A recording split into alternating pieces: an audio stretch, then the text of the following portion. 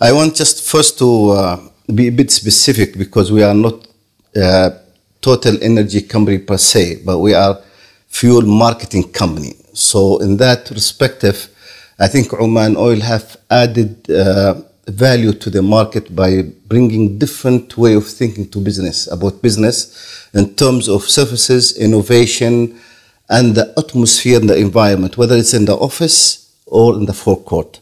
And uh, fuel, luckily in this country, is subsidized by government to sustain the growth and to encourage investment and development of Oman.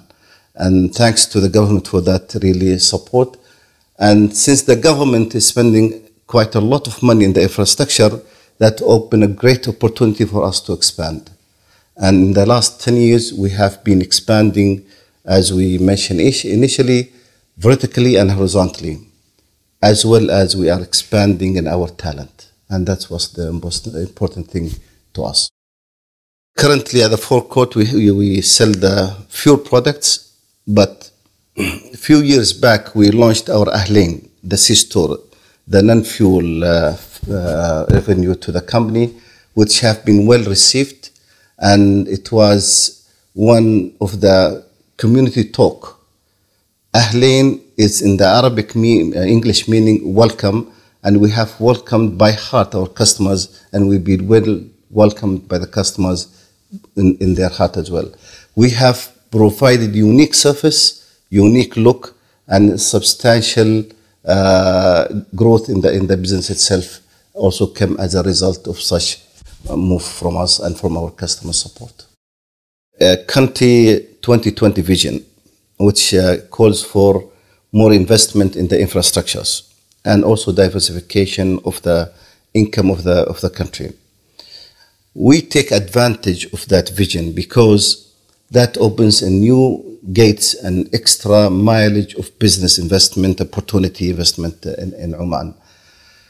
For instance, if the government, which is already not done, opening a new highways, new roads, it's another excellent business opportunity for OOMCO, for Oman Oil, and other companies to go and open new stations. That's mean another adding value of growth to the company revenue when the company, when the government now is investing heavily on the new airport, means a lot of visitors will be coming to this, to this country. A lot of airlines will open a lot of business opportunity for Oman Oil to fuel. Okay, and that's really is uh, the the wheel or the steering wheel behind the growth of us is our government spending in the in the vision of 2020. Export marketing, uh, we as a fueling company here in Oman, we focus mainly on fueling the nation and we drive the, the, the nation development. And when it comes to the export, we only export our own lubricant.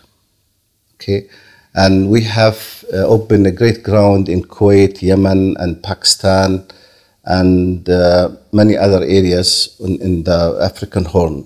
And we're really gaining a good, good ground uh, there in, in, this area. We are here look, look our ourselves as do we complement each other actually. And these companies are national company as well, but we do take the name, the brand name of the country, and we are uh, and proud of that. And definitely we have more government investment with, with, within Oman, and we've been taking taken the lead to be the nation flag in the business of retail. Uh, and the competition between us is healthy because we reshaping each other for better service provided to the customers and also being more efficient and being more, more attractive to both talent and customers and business as well.